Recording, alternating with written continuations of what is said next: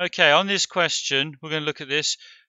We've got ABC are points on the circumference of the circle, and we know that AOB is diameter, and we want to prove that this is a 90 degree angle.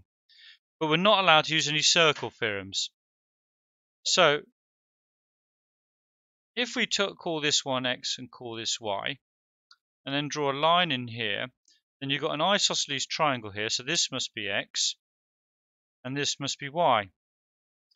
And therefore, we add up that angle, that angle, and that angle must all add up to 180.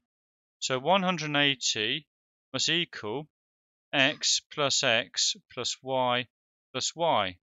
So 180 must equal 2x plus 2y.